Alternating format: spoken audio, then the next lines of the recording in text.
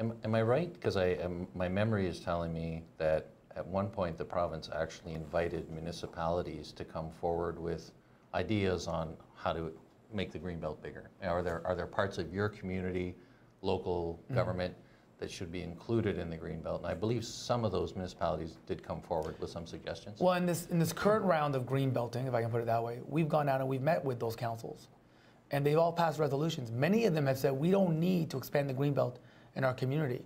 We have enough protection policies with water, natural features that we don't need the green belt. Um, so it will be interesting to see if the government will take the time to talk to their partners and really understand what their partners are saying, um, or whether or not this government looks at it as a political opportunity, regardless of what their partners are saying. And that's and these are all things that we work with in the public space. So I say this with confidence because if you look at council resolutions from Simcoe and other places, they're very clear. We don't need a green belt to protect our water features. We're going to do it anyways. Um, so, you know, we'll see exactly what the government wants to do with that conversation. But it's interesting to hear partners, municipal partners, regional partners, talking to the provincial government and laying those things out in a public way, and watching to see how the government responds. So, and, and just to reiterate what you said a couple of minutes ago, then, you believe, the Home Builders Association believes that if there's a process that is based in science and evidence and technical Absolutely. information, you're okay with that We're- because it should yield a good outcome? we are we've been publicly in this space for a long time that we're not here to fight the green belt. Um, we believe that there's value to it it needs to be protected it's part of the structure and will be for moving on forever in ontario. The real question becomes if we're going to expand it what are the principles around that? If it's scientifically based natural heritage features water features we are going to be contributing to that conversation with evidence and information and we should be protecting those features All right, fair enough. So I guess the challenge is when we have a province, I think the stats are that 100,000 people a year are arriving from outside of Canada into Ontario, primarily southern Ontario. And I was at an Ontario Chamber of Commerce event recently where they told us uh, in attendance that uh, Ontario is now realizing 30,000 people a year uh, net in migration That's right. from other parts of Canada. That's right. So a lot of people arriving every day that need somewhere to live. Right. And obviously, your members are in the business of providing that kind of housing. Uh, so really, what you what you need is an environment where government will work with you to enable that, as opposed to setting up a lot of barriers to make it harder and and, and more expensive. I think I saw something the other day that something like 25%, like some big number Mm. of the cost inputs into a new home are government fees and levies and so on and so forth. So you're looking for a change in the in the approach. You're looking for governments to work with you as a partner.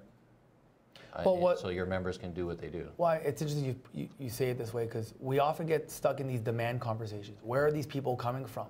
Are there real people looking for real homes? And the data keeps showing us, yes, there are real people coming to GTA, which is a big pressure point. Right. They're really coming here because there is a prosperity opportunity here. Employment is good. Jobs are real. There's opportunity. So we're, we're uh, drawing people into this region, 100,000 plus. Um, so the demand is real. And so now the question is, how is the supply side responding to that demand? And, and I often have to remind all levels of government, it's only the builders building housing. I mean, the federal government has now injected itself, but the, the housing that they're building is very specific to a very specific band of people. Um, and so when it comes to middle class families looking for housing, they're coming to building centers.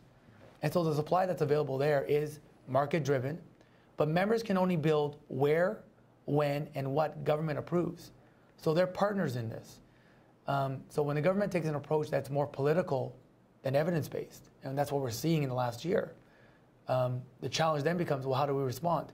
We have, you know, as people always say, we have applications in process that have been sitting four, five, six years. And so you can't get to an endpoint because not only do you have to get the approval, but then you have to get the infrastructure in place. And that requires an approval. So you end up in a strange place where someone will point to a map and say, well, that's been designated for growth for 15 years. Why haven't you started building yet? And you have to go back to them and say, well, there's no pipe in the ground. Because the approval to get that pipe is sitting in the Minister of the Environment's office. Until we get that approval, it's just a color on a map. We can't actually get to selling and building. So I can't live somewhere if there's no water coming in and no sewers taking water away. Right. And this is this is the challenge that we have when we get into the more complicated piece of it. But Demand is real. We all recognize that. Even to the point where, you know, speaking with the current government, they've identified they have supply issues.